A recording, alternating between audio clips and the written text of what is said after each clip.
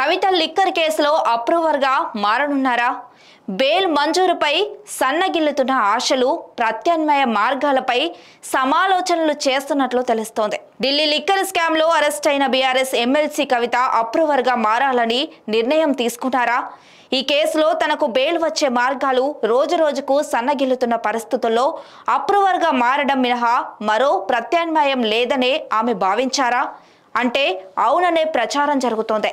ఢిల్లీ మద్యం కుంభకోణంలో కవితకు వరుస ఎదురు దెబ్బలు తగులుతున్న పరిస్థితి నెలకొన్న సంగతి తెలిసిందే. ఇప్పటికే ఈ కేసులో ఈడీ అరెస్టు చేయగా తాజాగా సిబిఐ అరెస్టు చేస్తున్నట్లు స్పష్టం చేసింది. సిబిఐ అరెస్టును వ్యతిరేకిస్తూ కవిత తరఫు న్యాయవాదులు పిటిషన్ దాఖలు చేశారు. ఎటువంటి నోటీసులు ఇవ్వకుండా కవితను అరెస్టు చేశారని సిబిఐ స్పెషల్ కోర్టు ముందు వాదనలు వినిపించారు. అనంతరం ఈ కేసులో కవితకు ఎలాంటి ఊరటనివ్వలేమని జడ్జి స్పష్టం చేశారు.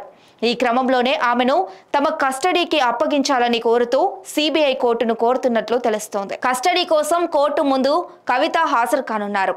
కవిత అప్రూవర్గా మారారని గతంలో తేల్చి చెప్పారు. తనకు ఈ కేసుతో ఎలాంటి సంబంధం లేదని తాను బాధితురాలిని తప్ప నిందితురాలిని కాదని ఇటీవల ఈడీ జడ్జికి రాసిన లేఖలో పేర్కొన్నారు. ఈ క్రమంలోనే ఆమె అప్రూవర్గా మారనుందన్న వార్తలు చర్చనీయాంశం అవుతున్న నేపథ్యం కవిత సడన్గా ఈ నిర్ణయం ఎందుకు తీసుకోవాల్సి వచ్చింది?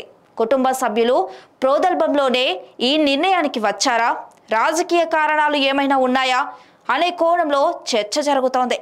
అయితే కవిత భవిష్యత్తును దృష్టిలో పెట్టుకొని ఈ నిర్ణయం తీసుకున్నారన్న అనుమానాలు వ్యక్తమవుతున్నాయి. సాధారణంగా మనీ లాండరింగ్ కేసులో అంత సులువుగా బెయిల్ లభించే అవకాశం ఉండదు.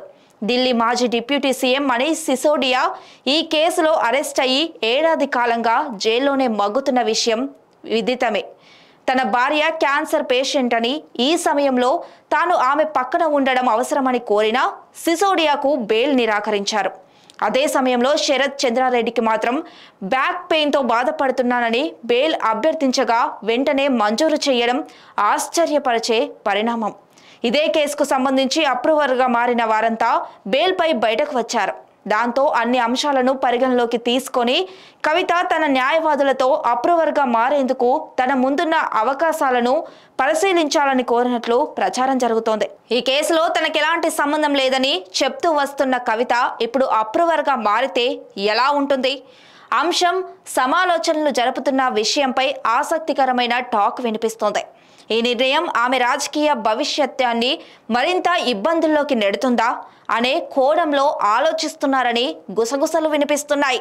ఇప్పటికే కల్వకుంట్ల కుటుంబం ఆమెను పక్కన పెట్టే యోచనలో ఉందని కవిత అప్రూవర్గా మారాలనే నిర్ణయం తీసుకుంటే వారికి ఇదొక అస్త్రంలా మారుతుందన్న విషయంగా మారే అవకాశం ఉందని రాజకీయ విశ్లేషకులు అభిప్రాయం వ్యక్తం చేస్తున్నారు.